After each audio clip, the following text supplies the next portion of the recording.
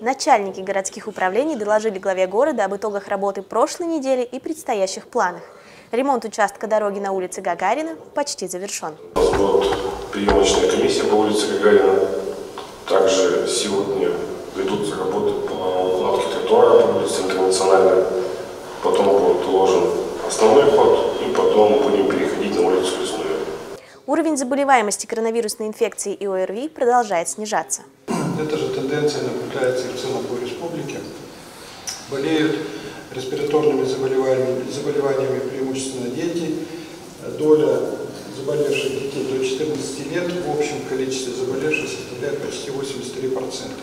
На сегодняшний день Сарапул находится на последнем месте в республике по количеству привитого населения. Вакцинировано чуть более 50% детского и 14,7% взрослого населения.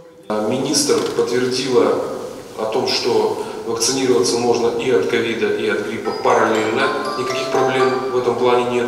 В конце недели всех желающих приглашают на традиционный забег «Кругосветка Удмуртии» в лесопарковой зоне. Торжественное открытие состоится 16 октября в 11.15.